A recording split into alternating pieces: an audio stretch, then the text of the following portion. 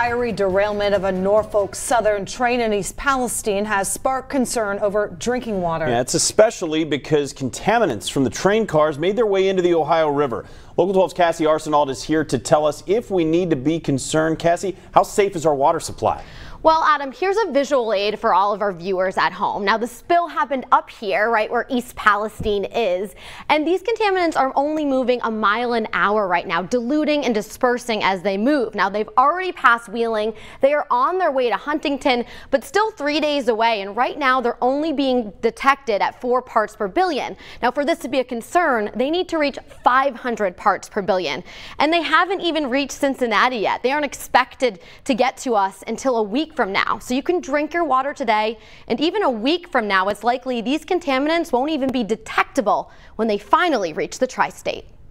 That's going to be the story, and it's going to be a major story for that community for a long time. It's a nightmare for people who live in the immediate vicinity of the spill. Chemicals seeping into the groundwater are a danger for those with private wells. The spill did flow to the Ohio River. But as for anyone along the Ohio River where the contaminants made their way, they can breathe a sigh of relief.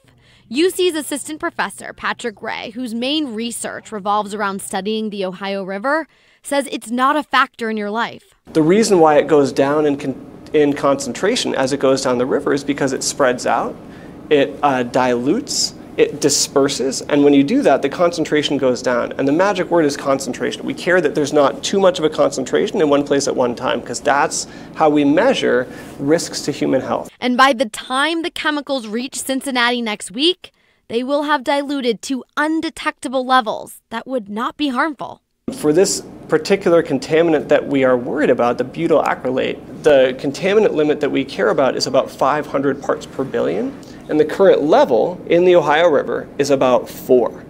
So this is not and as devastating as this all sounds, it's not the first time this has happened. No, it's not. And actually, if harmful chemicals do head our way, we are very well prepared for it. Now, there's a treatment facility. They're not only equipped to hold water for up to two days, but they did exactly that in 2014 for the Elk River spill.